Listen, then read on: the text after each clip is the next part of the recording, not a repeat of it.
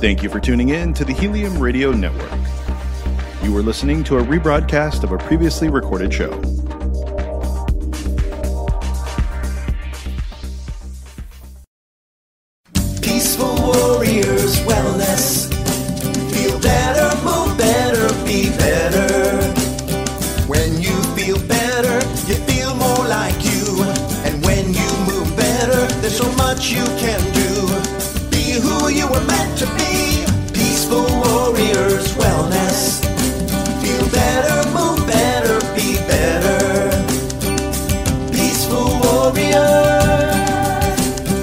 So, welcome again to the Feel Better, Move Better, Be Better podcast, broadcast live here from the Peaceful Warriors Wellness Center in downtown St. Petersburg. Um, and on our first episode, we had a chance to interview one of the owners, Scott Roberts, who's based here in St. Petersburg, and Lena. Now we have the opportunity to interview as well. And Lena, so tell us a little bit about yourself. Um, we heard in the last episode that you're not a Tampa native as well. No, I was born and raised in North Carolina. I lived in the same county for 42 years. Wow. I um, was in nursing for 20 plus years. I um, always knew that I needed to be helping people. Um, when I was 14 years old, I became a volunteer in the hospital. I was a candy striper because I was just drawn to helping people. Um, and loved it, loved working in the hospital. And then whenever I was in my 40s and my children grew up and left me, I was like, what what does Lena want to do? And uh, I went through a lot of self infliction, uh, reflection, excuse me, and remembered you know, when I was in nursing school, the first thing they taught us how to do was give baths and rub feet. And then one day it was like, massage therapists get paid a lot of money to basically do the same thing. Let me look into that. And then I found all the different things that you could do as a massage therapist. And I really had gotten disillusioned with modern medicine about it's it's all take pill fix problem and it doesn't work that way most of the time and I wanted a different way to be healthy. And massage therapy was a very good way to get into the holistic treatment. And so I moved to Florida and went to school at Cortiva in Pinellas Park. Now it's here in St. Petersburg. And met my husband, Scott, in school. Oh, you guys met in school? We met in school. Aw, We did. that's awesome. That's a love story there. Yeah. So, I uh, we, we really didn't have anything to do with each other in school because he was three months ahead of me. And uh, when I at that time I was living in Temple Terrace, and so I started renting a room from a chiropractor in North Tampa. And it seemed like every time that I went to do any kind of event or I wanted to do any kind of activity, Scott was already there. He was already doing it. He's always like one step ahead of me. And so I was like, let me just find out exactly what he's doing. find out who this guy is. yes, yes. And before you know it, we realized that even though our approaches and techniques are completely different, we still have a very close connection of what our ultimate goal is. Well, I mean, just by talking to you guys and knowing you personally, you both you live your passions for helping others and making others feel better. Yes. And I mean, no matter what you guys know, modality wise or how you treat people, your ultimate goal is exactly the same. Yes, it, it, it, it is, and it's, it's so surprising at how our approach is so much different, but our end result is always very Same. close to the same. Well, That's the awesome. first ingredient is always caring. Yeah. And, you know, and, and, and a lot of times people, and I try to remember this when I talk to people about the modalities that I know and or that Lena knows, and uh, nobody cares what you know or how much you know until they know how much you care. Yeah. And uh, so that's something that we do uh, very well. And Lena, especially in spades, um, is very caring. So, in, in talking about that in the last episode, we learned a little bit about your modalities and how you treat patients, Scott. Let's talk a little bit about how you do, Lena, because since you guys are, are so varied as you just said. Tell us a little bit about your your modalities and, and what you focus on. I have been trained in the myofascial release and the neuromuscular therapy, um, and and that's where the basics of, of all of my techniques come back from because that's what I know. Um, but I do, I incorporate medicupping, which is a form of cupping, but it uses a machine and it can do the pulsing instead of the static hold that cupping does. So it's much less likely to leave those hickey marks that are left with the cupping. Well, those are the best part. So people think you did something bad and dangerous because you've got purple circles all over you. Exactly. um, I kind of feel like that if it's causing capillary damage on the skin, it's also causing capillary damage in the muscle. And I go back to the first do no harm. So if I can get the same results without doing harm, that's what I'm going to go for. Am I correct in understanding that um, a hickey or a cut mark isn't necessarily damaging the capillaries like a bruise would from blunt force trauma? It's Exactly. Still, still drawing the fluid out, but it's not actually breaking it, is it? Yes, it does. Okay. But but that's the purpose of it doing it. And and I don't even I won't go into explain the techniques of doing that and why the Chinese medicine does it.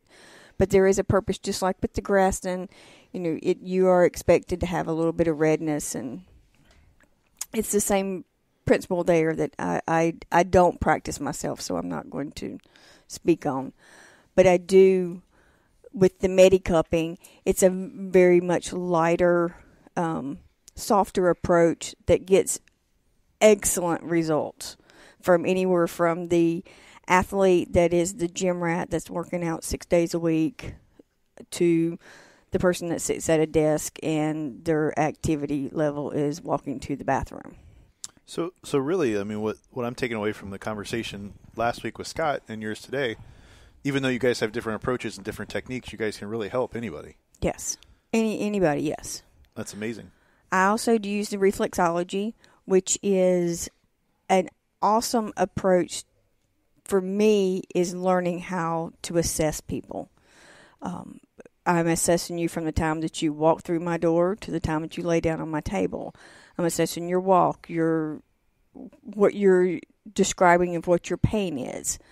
And the reflexology really helps me help you and you help yourself. It's impressive. So uh, let's talk a little bit about you know your your nursing. You started by saying you know you worked in the nursing and the hospital industry for many years. What's the treatment been like? I mean, uh, obviously you've seen a lot in that many years working in that in, uh, arena. What's it like to go from that methodology of treatment to having your own practice and be able to do this? Is it completely different? It was. It was really, really hard. And I'm so thankful that the massage industry in, as a whole in Florida is so supportive of each other. Um, there, there is a lot of. Before it was through the FSMTA that I found my. Um, whenever I worked in the hospital, so you worked in uh, critical care most of the time but every once in a while you would have someone that would come in that would just have you know a knee replacement or gastric bypass or something like that that is not something that you've ever really worked on so you could call up to the knee floor the orthopedic floor and you can say hey tell me a little bit about what you do with the knee replacement. You know how do you treat this? And it was so much more of a team effort of let me help you. And a lot of other industries that is not that does not happen in Yes. massage i mean in other industries. In massage therapy it's all about helping you help others That's amazing. so if i had someone you know yeah i haven't ever had anyone that has this connective tissue disorder you can call up your friends and now on facebook there's so many groups on there you can say, "Hey, give me some tips on this," or "Is this out of my league?" You know, what what can I do with this? And that camaraderie camaraderie is so so wonderful in the massage therapy industry. Well, it's got to be really fulfilling. I mean, to be able to help others, and then if you, in most cases, like you said, the medical industry, you know, you won't see another doctor call another doctor going, "Hey, you know, I got this weird case in here. Can you help me?" You know, but if you can call another massage therapist for assistance and, and go through that, it's pretty Yes. powerful. Yes. really is. Um, so we're almost to our first commercial break here, but um, before we, we go to break, was there any other modalities that we missed, or did we did we touch on all of them? And I also use these Himalayan salt stones. Well, we'll hold that thought. We're going to take our commercial break. When we come back, we're going to talk about Himalayan salt stones, learn a little bit more about them. You're listening to the Feel Better, Move Better, Be Better podcast, broadcast here live from the Peaceful Warriors Wellness Center downtown St. Petersburg, and we'll be back after this quick break.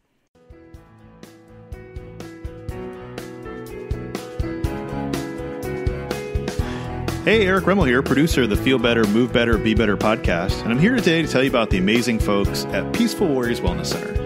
Not only am I a producer of the show, but I'm also a client. Their staff of therapists are truly the best at what they do.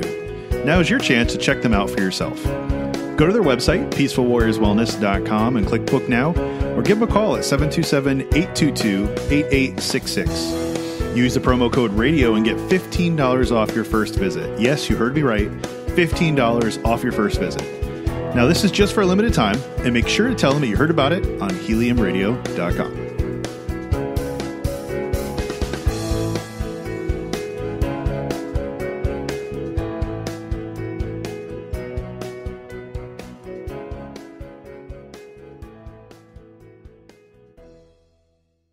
back. You're listening to the Feel Better, Move Better, Be Better podcast, broadcast from the Peace Warriors Wellness Center in downtown St. Pete.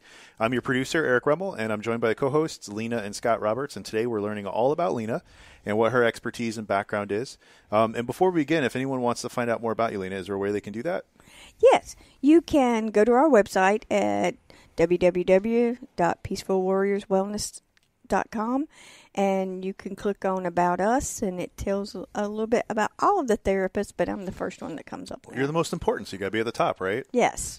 yes. Well, we heard from Scott in the last episode that you know he frequents the Saturday morning market. Are you out there with him too? I'm out there with them. Um, I have. Um, I'm in a 350 hour training for reflexology that is one weekend a month. So Scott's out there at Saturday morning market a little bit more often than I am. Um, but I love the Saturday morning market. It is probably one of my favorite places of St. Petersburg. It's really neat if you if you guys never had opportunity. Um, and I haven't been in years, um, and it's mainly just because I'm I'm usually busy on Saturdays, you know, with life and everything else going on. But I, I do miss going. It's a lot of a lot of fun. Uh, before we went to the break, we were just learning a little bit more about some other modalities that you use. You said uh, Himalayan salt stones were something that, that you use frequently here in the practice? Yes. I used Himalayan salt stones because with certain people, the salt really resonates with them. It calms and soothes. And with a lot of people, you know, you say, I want to go to the beach and sit at the beach. With the Himalayan salt stones, I have them in the room, all around the room, but I always I also use them in the massage. I use it like the stones. They're they're sanded down to where they you can massage with them, and it always calms you down so much more than just a regular massage. And all of these things with me, when you come into my office, you're probably going to get some stones put on, some hot stones on you, the Himalayan salt stones. You're probably going to get some essential oils put on you. You're probably going to have, I use a lot of the, the heated warm weights. Um, I, I, I like the weights. I like, because whenever you're really anxious, that kind of calms you down a little bit more, sedates you a little bit more.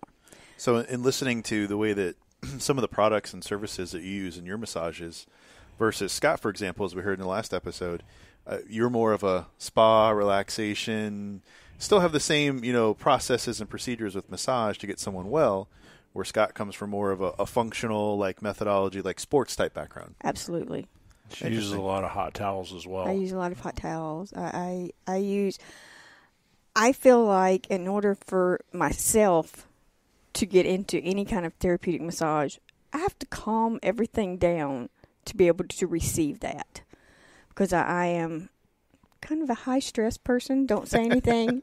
no, no, no, no, no for, comments. for those of you guys that are listening right now, I'm sitting right across from two of these, and they're making faces at each other. So it's What is nice is is uh, Lena does a great job of attracting people that are like her and really benefit from the approach that she does have. So what is nice about massage therapy, and I'm sorry to hijack you a little bit here, is that not everybody is the right therapist for every person, and both of us are very different, as Lena said earlier. But that's a good thing because there are clients that need what she does. Let's let's touch on that for a minute. So I know in my experience in the past, you know, some folks aren't comfortable with same sex or opposite sex massage therapists. Now, there's nothing wrong with that. That's just their comfort level. But do you guys see that a lot in your practice, especially you know both being male and female? Absolutely. Um, and it is a personal preference. And we have two male therapists and four female therapists here for that very reason. Um, because some people only like opposite sex, some people only like same sex. And it's a personal choice, and you should be able to choose whatever that is right for you. Makes sense. It's always better, in my, in my opinion, to use the word gender. Yep. Uh, I, just because uh, there's nothing sexual about anything that we do in our office. Everything is very therapeutic and and uh, oriented towards uh, health and wellness, as opposed to anything else that you might find in the less reputable establishments. But Well, let's touch on that for a minute. So there, you often see a lot of times in the news where there's less reputable establishments getting in trouble with the law and things like that. Um, in your facility, everybody's licensed, everybody's insured. You guys, you know, have a facility license. All the legal dot your i's and cross your t's. You know, all the legal structures that you guys need here. Absolutely. Um, and what's what's I found really interesting is you guys are very well versed in the law. We've had a few conversations just um, in passing about certain things, and you know, talking about facility licenses and things in conversations past. And you guys are really well versed with knowing what's legal, what's not legal, how to handle things, and the appropriate sanitation levels, and proper things, proper you know uh, things that you have to have in the rooms or not to have in the rooms. It's pretty interesting to know. You guys have have really well.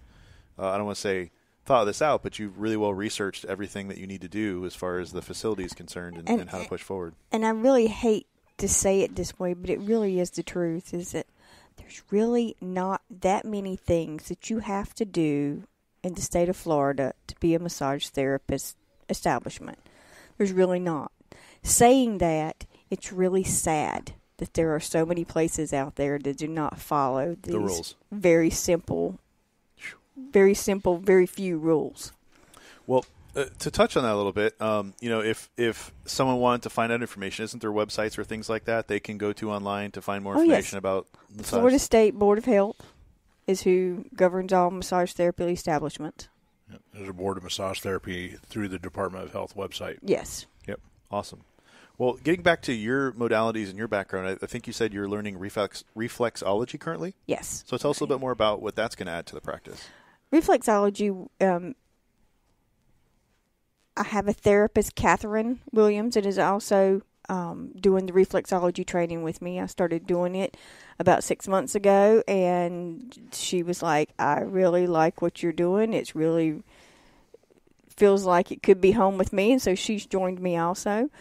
But it will bring into this office a huge level of assessment and a level of being able to work on people that cannot have full body massage, cannot lay on the table, can you know, because this way we will do.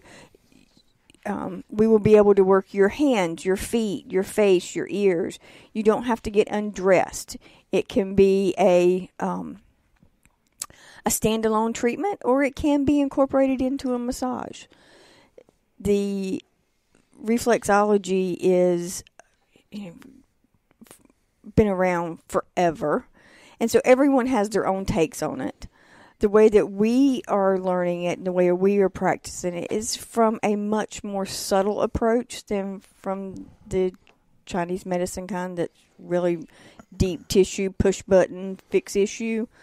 Ours is not. Ours really helps your body and your mind communicate much better together. Well, it sounds like just another feather in the hat, so to speak. You know, just Exactly. another another t- tool in your another belt. t- tool in my toolbox, yes. Well, that's awesome. Well, we're almost out of time here uh, for this episode, but uh, coming up in the next episode, we're going to talk a little bit more about the facility, what you guys do, where you're located, all the different specialties you have. Um, again, if somebody wanted to find out more information about you, website's best place. Website, Facebook, or give us a call. What's that phone number? in case someone wants to- 727 822 8866. Well, thanks again. You've been listening to the Feel Better, Move Better, Be Better podcast, broadcast from the Peaceful Warriors Wellness Center in downtown St. Pete. Um, as always, uh, thanks for tuning in. In our next episode, we're going to talk a little bit more about the facility and learn about what they do here. Thanks for tuning in. Have a great day.